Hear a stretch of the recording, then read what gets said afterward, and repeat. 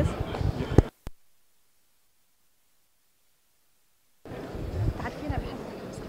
شيماء زرعوني المدير التنفيذي للمدينة العالمية للخدمات الإنسانية في دبي.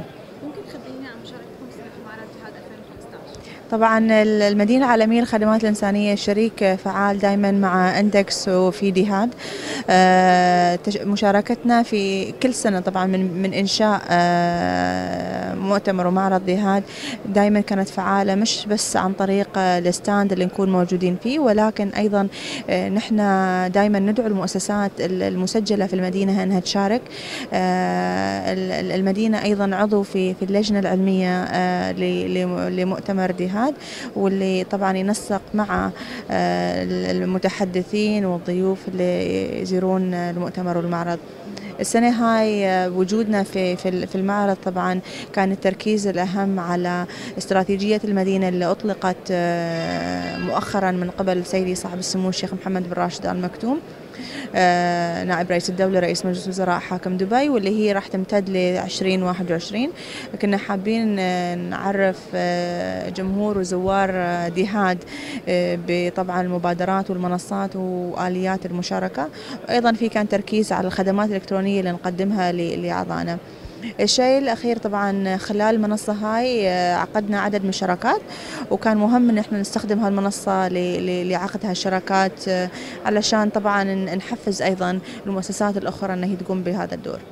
كونكم من الشركاء الرئيسيين من بداية انطلاق المعرض الآن شو التطور اللي عم المعرض؟ آه، طبعا ال- المعرض كل سنة يكون في عدد أكبر من المؤسسات المشاركة يلفت الانتباه الدولي آه، بصورة أكبر.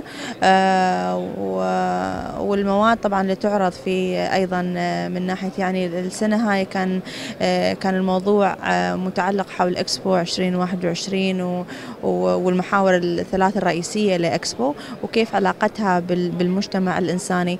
فطبعا التزامن مع هذا الشيء مهم جدا وأعتقد إن فريق العمل في إندكس قام بدور جبار على أنهم يقدمون الأفضل.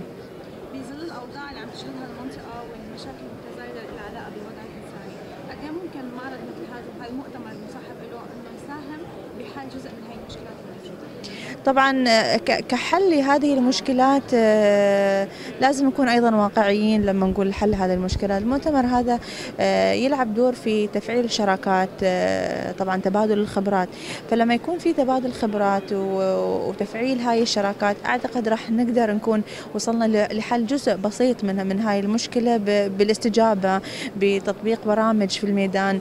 آه، الاطلاع على مختلف الممارسات وشو اللي نجح وشو اللي ما نجح في في التغلب على هاي هاي ال- الكوارث. ولكن آه، طبعا تضافر الجهود جدا مهم.